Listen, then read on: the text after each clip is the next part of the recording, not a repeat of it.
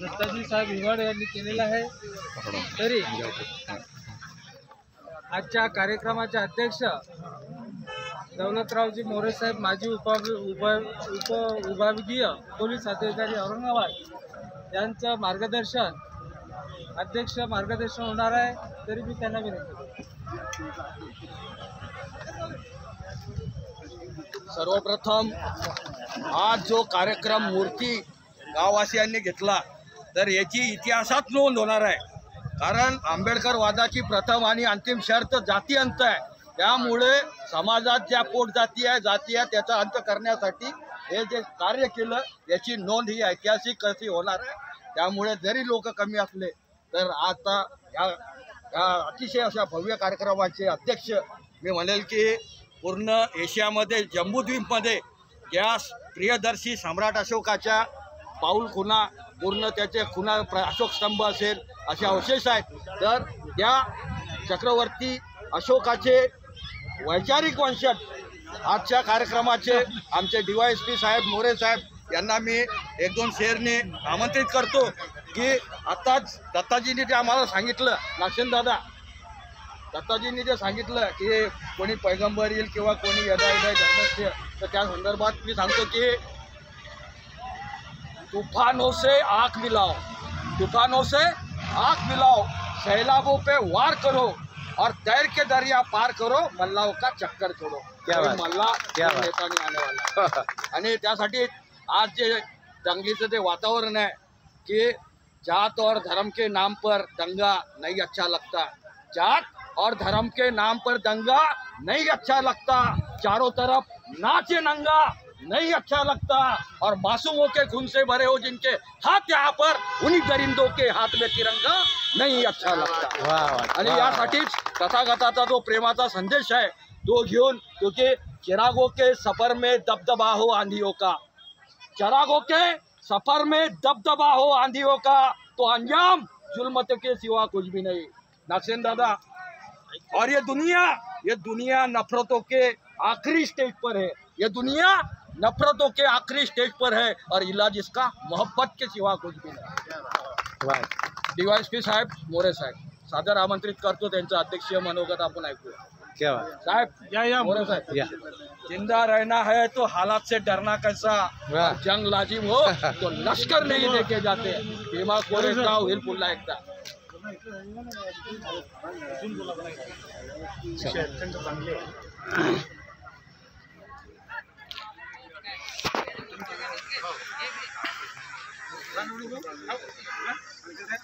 महाकारुणिक तथागत भगवान गौतम बुद्ध.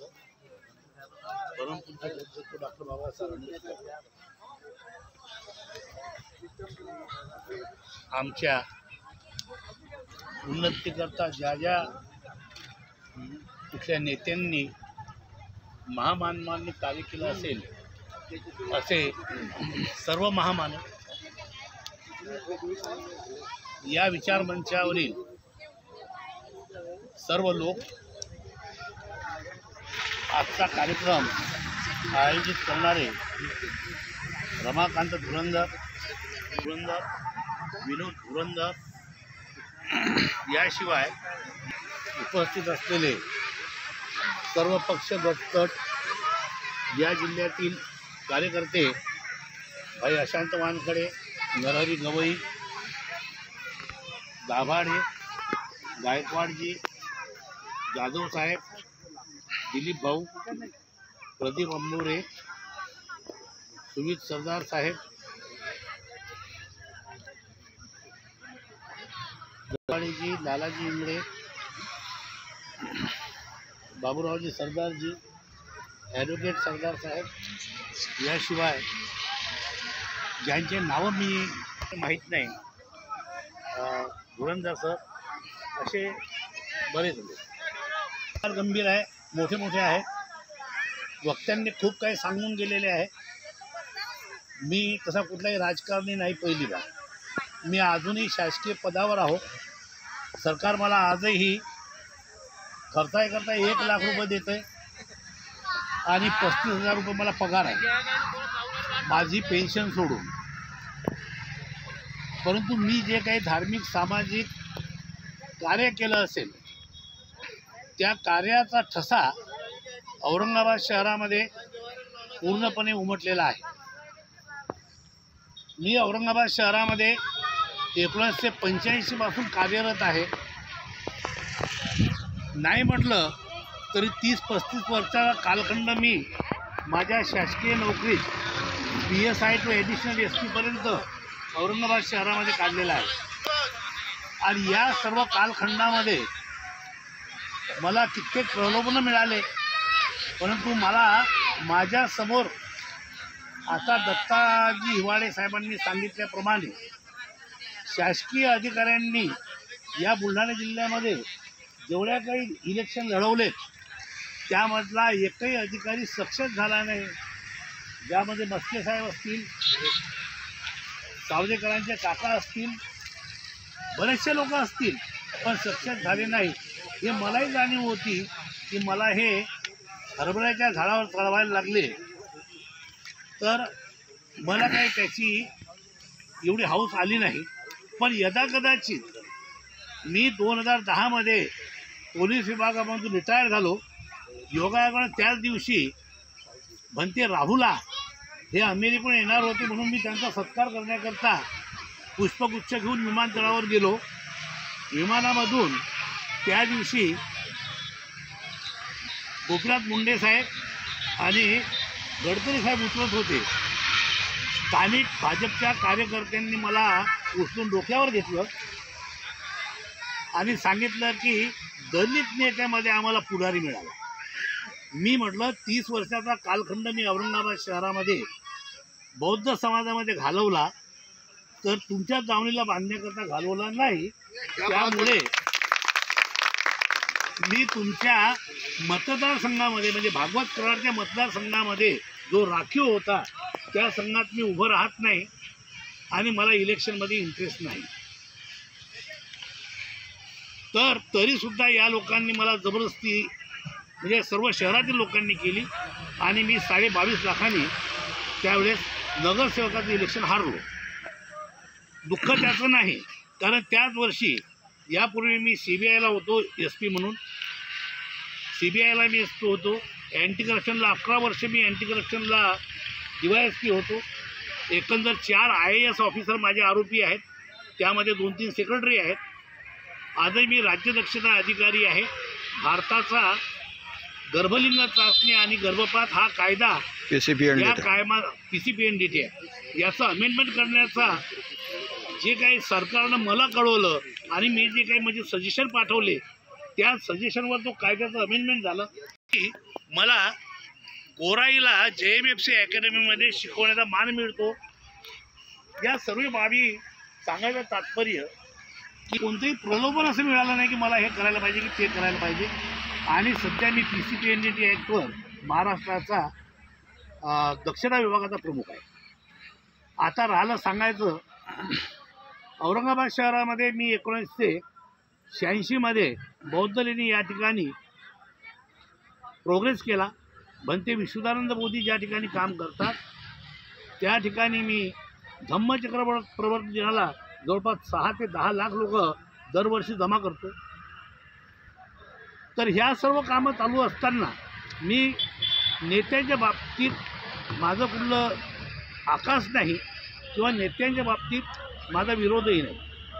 त्याचं कारण असं आहे की नेते जर नसते तर मला रिझर्वेशन मिळालं नसतं आणि मी या पदापर्यंत गेलो नसतो. मी तर म्हणतो की सर्व नेत्यांचा त्याग आहे की तुमच्या आणि नेत्यांच्या त्यागातून आम्हा नोकर नोकरी करणाऱ्या लोकांना नोकऱ्या मिळाल्या रिझर्वेशन मिळाले प्रमोशन मिळाले. जरी नेते नसते तर कदाचित आमचं प्रमोशन झालं नसतं.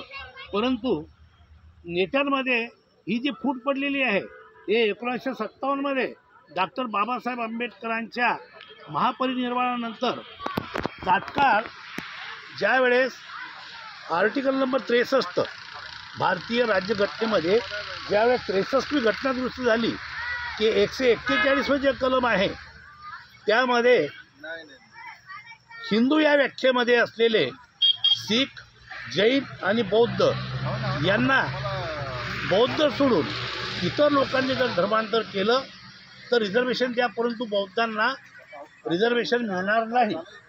तर हे त्रेसष्टव्या घटनादृष्टीमध्ये पंडित जवाहरलाल नेहरू अवघ्या डॉक्टर बाबासाहेब आंबेडकरांच्या महापरिनिर्वाणाच्या चोवीसाव्या दिवशी करून घेतलं. कारण की त्यावेळेस खूप लोक धर्मांतरित होत होते. बाबासाहेबांनी केलेलं धर्मांतर बहुजनांना सुद्धा असं वाटत होतं की आपण धर्मांतर करावं. त्यामध्ये यशवंतराव चव्हाणांनी थोडाफार फेवर दाखवला. त्यानंतर आंदोलन वाढत गेले. आणि नं मला असं वाटतं की सतरा मे एकोणीसशे साठ रोजी पंडित जवाहरलाल नेहरूंनी आपल्या काही नेत्यांना दिल्लीला बोलवलं. तर दिल्लीला बोलवल्यानंतर पंडित जवाहरलाल नेहरू यांच्याकडे बसलेले असताना त्यांनी एक विषय काढला. कोणी पंडित जवाहरलाल नेहरूंनी? की तुम्ही सर्व नेते आले त्यामध्ये दादासाहेब रुप होते बी सी कांबळे माने भंडारे. हां हे बाकी सर्व मंडळी होती. तर त्यामध्ये विषय असा निघाला की तुम्ही सांगा की ये भारत में ये इसमें कितने लोक धर्मांतरित होंगे तर आपल्या लोकांनी थातूर काहीतरी उत्तर द्यायला पाहिजे होतं पण आपण सर्व हुशार आणि शहाणे लोक आहोत. तर आपल्या या एखाद्या शहाण्या नेत्यांनी असं उत्तर दिलं कि पंडित जी आपको क्या लगता है? ये आप आसमान में जितने ढग है उसमें से कितनी बारिश होगी? ये आप बता सकते हो? तर बाबासाहेबांनी आपल्या पंडित जवाहरलाल नेहरूंचं उत्तर नाहीच होतं. त्यामुळे त्यांनी त्या सर्व लोकांना हाकलून दिलं आणि त्यामुळे बुद्धांना त्यावेळेस सवलती मिळाली नाही. पुढं जाऊन यशवंतराव चव्हाणांनी या बोलला सॉरी यशवंतराव चव्हाणांच्या वेळेस दादासाहेब गायकवाड वगैरे या लोकांनी आंदोलनं केले. त्याच वेळेस खरे दोन गट पडले. म्हणजे फूट कुठे झाली पहिल्याच वेळेस फूट झाली. ज्या वेळेस या फुटीमध्ये एक दुरुस्त आणि एक नादुरुस्त असे दोन गट पडले. या दुरुस्तामध्ये कोण कोण आलं?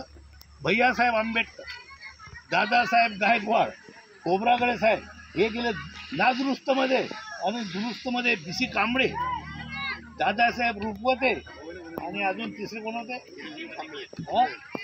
आवडे आवडे साहेब हे गेले दुरुस्तमध्ये. आता घटना काय आहे? की मुंबईमध्ये गिरणी कामगारांमध्ये वसाहती होत्या वेगवेगळ्या. आणि त्या वसाहतीमध्ये शक्यतोवर मराठवाडा आणि विदर्भ यामधले कामगार कमी होते. त्या ठिकाणी जास्तीत जास्त कामगार हे कोकणामधले होते. आणि बी सी कांबळे यांनी त्यांच्यावर वर्चस्व प्रताप केलं आणि त्या वर्चस्वाच्या जोरावर बी सी कांबळेंनी दुरुस्तांचा गट तयार केला. म्हणजे फूट पडणं हे साभा स्वाभाविक आहे. एकोणीसशे शहाऐंशीमध्ये एकोणीसशे सत्त्याऐंशीमध्ये खूप फुटी पडत गेल्या. आपण लोक वेगळे होत गेलो. गवई साहेबांवर एक केस झाली. त्या केसमधून ते निर्दोष झाले. नंतर ते कधी आपल्याकडे फिरकले नाही. त्याचा चान्स यशवंतराव चव्हाणांनी घेतला आणि यशवंतराव चव्हाण साहेबांनी त्यांना काँग्रेसवासी करून टाकलं. अशा बऱ्याच कहाण्या आहेत. तुम्हाला जर सांगायला बसलो तर मला असं वाटतं तीन चार तास मला तुम्हाला हा इतिहास सांगावा लागेल. एकोणीसशे चौसष्टमध्ये मी जळगाव जामोदला पोलीस माझे वडील पोलीसमध्ये होते आणि मी शिकायला होतो. जळगाव जामोद आणि त्या ठिकाणी पिंपळगाव गाड्याला मारा झाला. आठवतं का कोणाला? मला वाटतं की साहेबाशिवाय अजून कोणी जे जुने लोक असतात त्यांना माहिती असेल. तर मला हे सांगायचं तात्पर्य असं की मारा पिंपळगाव काढेला झाला आवाज एका बौद्धानं दिला कोणीतरी. आणि एका बौद्धाकरता लोकांनी काठ्या हाती घेतल्या. थैल्यामध्ये घरी भाकर असेल तर असेल नसेल परंतु त्याच्यामध्ये भाला आणि बर्शी पुराणा टाकल्या आणि पायदल निघाले. बायकोला कुकूर पुसून की मी आलो तर आलो. नाही तर आता असं समज की मी मेलो असं मिळून लोक एक संघ खेड्यापाड्यातले लोक जमा झाले आणि हजारोच्या संख्येनं लोक पिंपळगाव काळेमध्ये गेले. एकही नेता त्या ठिकाणी त्यांना बोलवण्याकरता आलेला नव्हता. स्वयंस्फूर्तीनं लोक त्या ठिकाणी गेले. तिथं पण नेता होता का? जबरदस्त मारा झाला लोक पराठीच्या आणि तुरीच्या वयामध्ये असं पडले असा मारा झाला कोणी केसेस करता घाबरलं नाही कोणी मराय करता घाबरलं नाही. विठ्ठलराव मांडकेकर चालू असतात खंडेराव हे सगळा मंडळ इकडचे आपले सर्व हे नरवडे हा हाटकर हे खूप लोक त्या ठिकाणी गेले. हे सर्व विषय का सांगायचे आहे? नेत्यांची गरज नाही. समाज एकत्र असला पाहिजे. तुम्हाला उदाहरण देतो मंडळी. मी औरंगाबाद शहरामध्ये सामाजिक कार्य करतो. मी सा शासनानं ऑर्डर काढली की अनाध अनाधिकृत असलेले शंभर बौद्ध पाळून टाका. मी एक अर्ज केला महापालिकेमध्ये अर्ज दिला की मी मागासवर्गीय आहो. आमच्या व लोकांच्या वस्त्या झोपडपट्ट्या आहेत. त्या सर्व झोपडपट्ट्या आमच्या नेत्यांनी अनाधिकृतपणे बसवलेल्या आहेत. आमच्या झोपडपट्ट्यांमध्ये आम्ही आमचे बौद्ध विहार बांधलेले आहेत. जर आमच्या झोपडपट्ट्या शासनाने अधिकृत केल्या तर आमचे देव बी अधिकृत झाले. आणि जे देव अधिकृत झाले तर तुम्ही कसे पाडता? म्हणून आम्ही ते विहार पाडण्याकरता त्याला असा अपोज केला. त्याच्यानंतर मी एक आवाज उठवला. माझ्या लोकांना माझ्या पोरांना बसलेलं आहे पोरं पाहिजे हे पोरं एकत्र या. साहेब जास्त सांगत नाही. संभाजी भगतपासून तर मिलिंद आनंद शिंदे मिलिंद शिंदेपासून. सर्व लोक मुंबईपासून तिथपर्यंत आठ ते दहा लाखाचा जनसमुद्र आहे.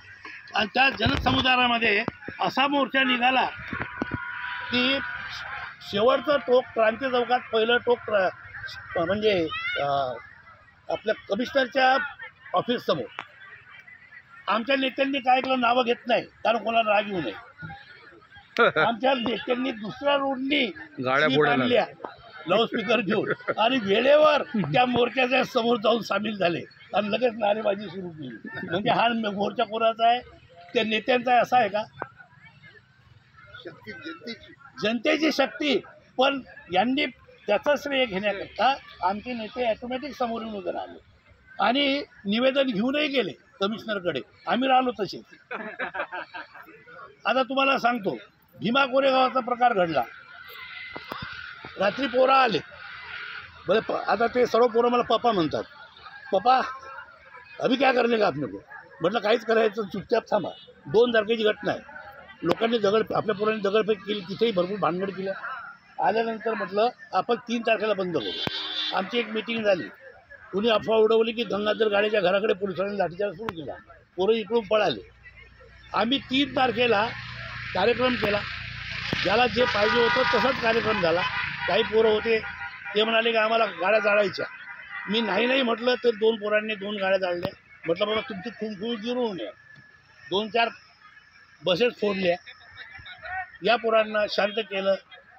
त्याच्यानंतर या भूमी भीमा कोरेगावबद्दल तीनशे सातशे गुन्हे दाखल झाले. तिसऱ्या दिवशी मी सेशन कोर्टात गेलो. आठ दहा पोरं होते माझ्या मागे उभे म्हणजे वकील लोक. तिथे मी कोर्टाला विचारलं की म्हटलं साहेब डेफिनेशन काय आहे? म्हटलं. या गुन्ह्यांची डेफिशन डेफिनेशन काय? आय पी सीची डिशि डेफिनेशन काय? त्यावर खूप काही मस्तच झाली. पोरं त्या त्याच वेळेस जमातपूर बाजे बाहेर आली. परंतु भुसावळचे पोरं मात्र अडकले. मी माझ्या पोराला सांगितलं म्हटलं हेमंत पैसा आपला लाव आणि हायकोर्टामध्ये पिटिशन दाखल करा यांच्या केसमध्ये आणि त्यांना जामीनवर सोडव. आमच्या दहा पंधरा वकिलांनी त्यांना जामीनवर सोडलं पोरांना हायकोर्टात. जैत जैत खेडा तुम्हाला माहीत असेल तिथली केस दिलीप जाधव नावाचा एक मुलगा कंप्लेंट घेऊन गेला की माझ्या भावाचे तुकडे तुकडे करून त्याला बोरमध्ये टाकलं. गुन्हा दाखल झाला. ॲट्रॉसिटीचे कलम लागले. आमदार खासदार मंत्री महोदय आले. आमदार खासदार मंत्री महोदयाने काय दम दिला काय माहीत पोलीसवाल्यांना. पोलीसवाल्यांनी लगेच ज्यांनी फिर्याद दिली त्याला आरोपी केलं तीनशे दोन खाली. आणि जे मराठाचे लोक होते पाटलाचे लोक होते त्यांना त्या केसमधून काढलं ॲट्रॉसिटी जे लावलं होतं ते कमी करून टाकलं आणि ते केस केली. आम्ही सांगितलं त्या जय जयत खेड्याची केस आम्ही फ्री ऑफ कास्ट लढलो. आणि त्यामध्ये त्या जाधवला आम्ही बाहेर काढणं निर्दोष होतो परंतु प्रश्न अजूनही शिल्लकच आहे की जरी जाधव बाहेर निघाला तरी माझ्या माणसाला कापून तुकडे करून बोरमध्ये टाकणारा आरोपी अजूनही मोकळा फिरतो त्याच्याबद्दल कुणी काही करायलाच तयार नाही. अहो तुम्हाला सांगतो आमच्या लोकांनी मनात आणलं तर आम्ही स्वतंत्र म्हणून प्रदीप जयस्वालला स्वतंत्र निवडून दिला आमच्या लोकांनी. अशी एकटी आमच्यामध्ये आहे. अशी धमक आमच्यामध्ये आहे की आम्ही कोणत्याही व्यक्तीला जर मदत केली तर त्याला आम्ही अपक्ष निवडून आणू शकतो. आम्ही भारी बहुजन आघाडीमध्ये जोपर्यंत एम आय एमवाले एक होते तोपर्यंत आमच्या लोकांनी इम्तियाज जलीलला आपल्या लोकांच्या मदतीवर इम्तियाज जलील खासदार झाला. परंतु बॅड लक हा आहे की आमचे जे लोक उभे राहिले त्यांना मात्र मुसलमानांनी मतदान केलं नाही. म्हणजे आता आम्ही विश्वास कोणावर ठेवा? त्या आमचा आज विश्वास कोणावरच नाही. आज आमचा विश्वास फक्त समाजाच्या एकीकरणावर आहे. मी सांगतो समाजाचं एकीकरण लिहा करा. नेता ॲटोमॅटिक पुढे येतो. मला नेत्यांच्या एकीकरणाची आजच्या तारखेमध्ये गरज वाटत नाही. तुमच्यामध्ये दम आहे. तुम्ही सर्व खेड्यापाड्यातले बौद्ध लोक एकत्र व्हा नेते ॲटोमॅटिक पुढे येतील ज्याची मी तुम्हाला गॅरंटी लिहून देतो अरे मी औरंगाबादचे नेते बघितले राव की सहा सहा लाख लाख आज मी तुम्हाला सांगतो मी माझं चॅलेंज आहे विचारा माझ्या लोकांना मी उभा राहतो नेता उभा करा बाजूला. मोर्चा मागे लोक कोणाची माग राहतात? पण प्रश्न कसा आहे की मला स्वार्थ नाही. निस्वार्थी व्यक्तिमत्व जर उभं राहिलं तर हा प्रश्न म्हणजे अध्यक्षपदाचा उपाध्यक्षपदाचा अ, आमदारकीचा खासदारकीचा निर्माण होणार नाही. फक्त नेतृत्व निस्वार्थी असावं. त्यांनी कुठलाही स्वार्थ मनात ठेवू नये. अ पदापेक्षा म्हणजे आमदाराच्या पदापेक्षा व्यक्ती श्रेष्ठ असते. व्यक्तीला किंमत असते. अहो मी तुम्हाला सांगतो की आम तुमच्यामध्ये दम जर असेल ना तर मी उद्धव ठाकरेंच्या घरामधून फोन केला. मी फक्त फोन केला तोपर्यंत आमच्या इथल्या चार आमदारांनी पत्र पाठवून दिले म्हणजे पी डी एफवर अजून काय पाहिजे साहेब? तर मला काय म्हणायचं समाज एकत्र पाहिजे. नेता असा पाहिजे खंबीर तुमचा की त्याला कुठलाच स्वार्थ नको तुम्ही म्हणजे सगळे आमदार. असा जोपर्यंत नेता निर्माण होणार नाही हा समाज एकवटला जाणार नाही तोपर्यंत एकीकरण शक्य नाही. फक्त एकीकरण समाजाचं करा अगोदर नेते ॲटोमॅटिक तयार होतील. जय भीम. कार्यक्रमाला येण्याचं शीत झाल्यासारखं मला आवडण्यासाठी वाटतं राहलं नाही. मला आमचे गुरुवर्य आपलं मानवा परिषदेमध्ये की आता दलितांचा नेता मला मिळाला. तसं मोरे साहेबांच्या बाबतीत मला वाटायला लागलं की या एकीकरणाचा नेता आम्हाला मोरे साहेबांच्या अरे बापरे नाही. निमित्तानं काय लागतो? आणि आंबोरेनी दादासाहेब गायकवाडने असा एक प्रयत्न केला होता मागे. दत्ताभाऊ यांच्या आणलेल्या स्वप्नाला. आणि आज आपल्या संघर्ष समितीचा नेता आम्ही निवडलेला आहे. आंबोरेनी आणि दादासाहेब गायकवाडनी आपल्या ते दादाराव गायकवाडनी बुलढाण्याला असा एक प्रयत्न केला होता. परंतु तो काही विघ्न संतोषी लोकांनी आणून पाडला होता. कारण त्यांना त्यांचं नेतेपद संपत होतं. तर आता या पद्धतीचा जर नेता आम्हाला मिळाला तर मला वाटतंय तुम्ही. हा? उदयनगरच्या